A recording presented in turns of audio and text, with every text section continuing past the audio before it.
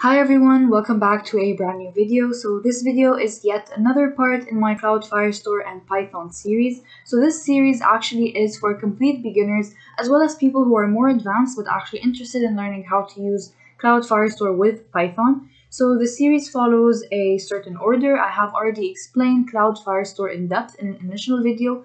That video is independent of Python or any programming language, so it really only talks about Cloud Firestore, the structure, and everything inside it. I also have a setup video that helps us set up um, Cloud Firestore with Python, so it helps us set up the database as well as set up the client and the admin SDK. And the next part would be the actual CRUD part. So I have already the C, so the create part, so it's create, read, update, and delete. This video is going to be specifically about reading data from a Cloud Firestore database using Python. So without further ado, let's get started with actually reading data from the Cloud Firestore database with Python. So well, what do we mean when we say read data? When we say read data, we usually mean everything from actually getting all the possible data as well as, you know, performing certain queries to retrieve certain documents. Maybe I want to retrieve all the people who have an age above 60. Maybe I want to retrieve all products that currently have a discount on them. So this has multiple applications and reading data is essentially one of the main parts of any database ever. When you persist your data, you would always want to actually refer to it and really use it in your application. So enough talk. How do we do this through code? So just a quick overview, this is our Cloud Firestore database. This is some really, really primitive samples that we have of some data. Um, these are actually generated IDs by Firebase these are actually IDs that I have set myself. So I have set this ID to be P1, I have set this ID to be P2, and they have different types of data as well as different data types. Alright, so that's sort of our first starting point. Now, going back to PyCharm. So I have a PyCharm project that I've been using for this tutorial. The source code will be linked down below, so you can check that out. Otherwise, you can look here. So I already have other files for the other, you know, CRUD component. This file is actually independent, so I'm just gonna, you know, close everything to ease the confusion. And here's what we really have. So I'm just gonna erase all of this because I really want this to be, you know, firsthand, uh, hands-on. I want you guys to be coding with me or I want to really help you guys understand. So what you just saw a second ago is actually going to be posted on the GitHub uh, source code. So how do I read data uh, from the database uh, using Python? So the very th first thing that comes to mind is actually getting a document with a known ID. So I said before that here we have two types of documents. Those that have a generated ID, generated by Firebase. This is related to both timestamping as well as um, some other, you know, other variables that go into this. And this is a unique randomly generated ID. Also, we have the IDs that we have set.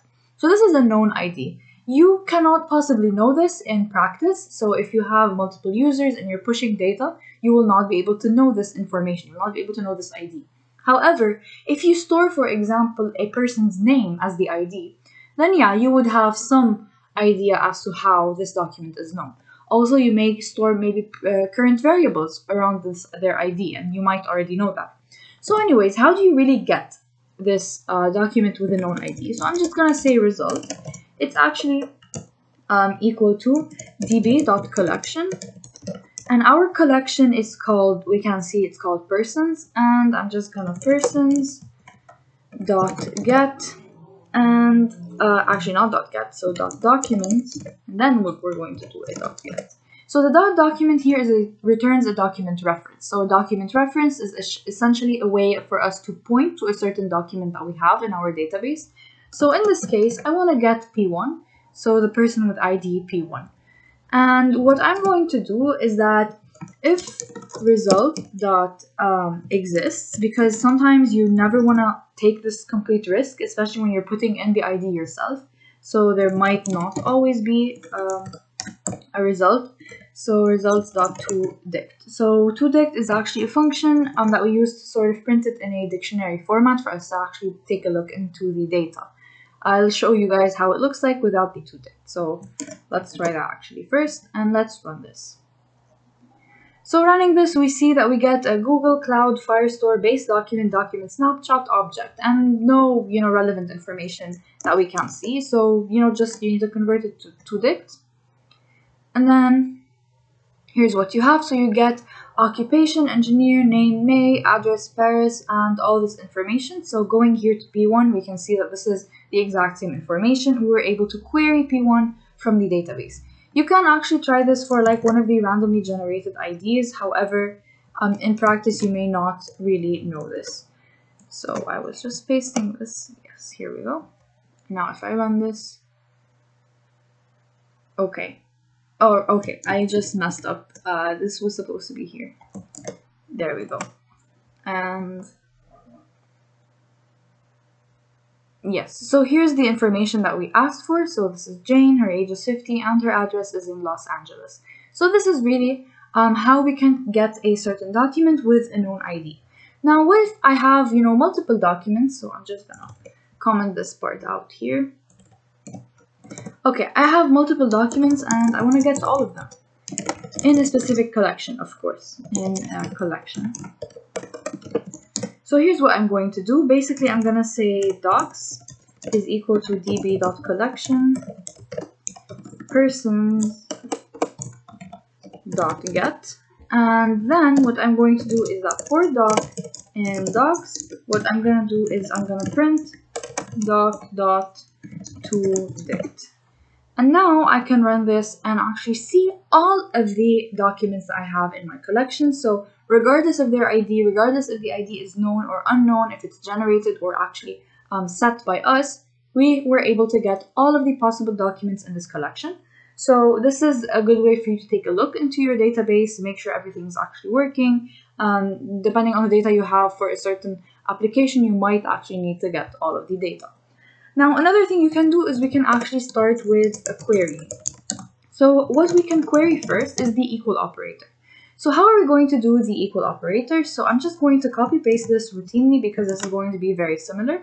And here, before I actually call get, what I'm going to do is I'm going to say dot where, and this is where I'm going to specify a condition, and then I'm going to say dot get.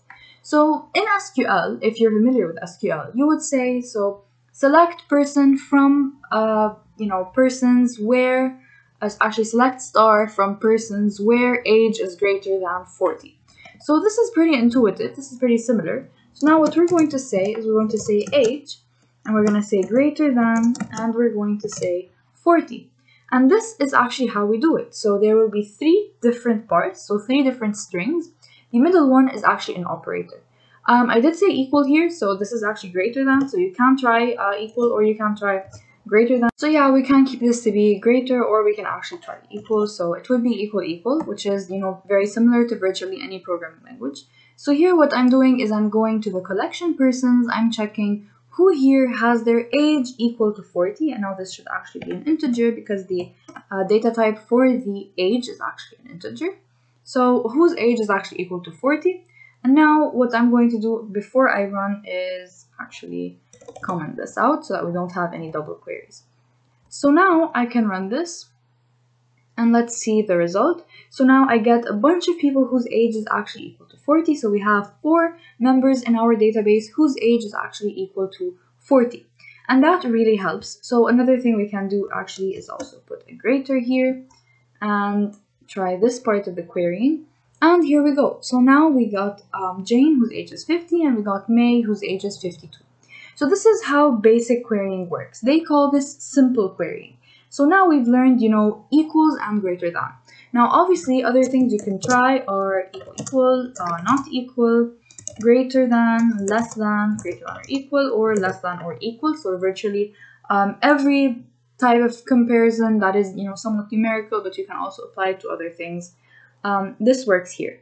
Now, moving a bit away from the integers, you can do this to strings as well. So what you would do here is, let's say here, uh, name is, you know, equal equal to, let's see, May. And now I can run this and I should probably get one data point whose name is actually uh, May. And there we go. So we have name May here and this is all her sort of information.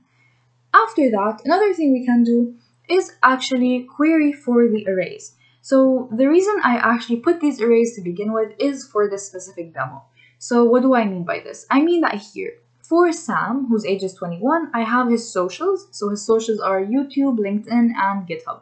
And May, on the other hand, has Facebook, Instagram, and YouTube. So what we want to do is actually retrieve those socials. So we want to retrieve um, the uh, retrieve the different users based on those socials. So here's what we're gonna do. Um, so I'm just gonna copy paste this and then you know comment it out and so that we can actually use it. So the cleaner version of this code is available in the source code on GitHub and is commented and everything is clear. And please let me know if you have any questions to begin with. So uh, leave a comment or uh, send me an email or, or anything like that. So here's um, what we're gonna do. So here now we're checking for the array socials. And let's say I want socials to maybe, um, you know, contain, you know, let's say I want to get everyone who contains YouTube. So I want to see who actually has uh, YouTube. So how am I going to do this? I simply have to change the array contains. So the operator becomes array contains. This should be a string. So we're checking if the array contains a specific string YouTube. And now if I run the read data, what am I going to get? So um, I do not get any data points. This is because they're in lowercase. So Firestore is not friendly like that. So now let's see. There we go. So now we have the P1 person who has Facebook, Instagram, and YouTube, and we have the P2 person who has YouTube, LinkedIn, and GitHub. Now here I have obviously two results. Now I can maybe narrow this down to one result by changing this to LinkedIn. And now if I run this, I should get only one result. So that's really it for querying for the simple queries as well as for querying using the arrays. So this is sort of nested information that we have inside each data point. Now another thing we can do actually is to query um, using the in operator. So I'm trying to cover as many operators as I can. So here what I have is, let me just paste, so db.collection where, and now we're going to change the where statement. So what does the where statement here say? For example, let's say I want everyone whose address is in either of the following, so London or Milan, and this should be a string.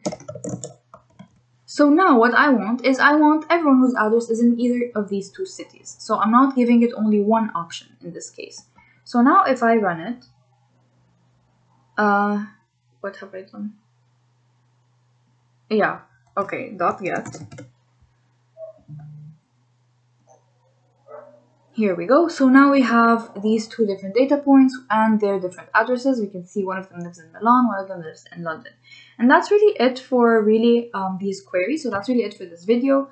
I really hope it was useful for you. I really hope you were able to get something out of it and really learn how to read data from the Cloud Firestore database. So in this video, we covered how to read uh, data directly from a known ID, how to get all documents, how to cover uh, certain queries as well as you know more complex queries. There should be a separate video regarding compound queries in Firestore because they are a tad bit more complex so they deserve their own video for that and stay tuned for that. So if you enjoyed this video please make sure to leave a, leave a thumbs up and subscribe. Thank you so much.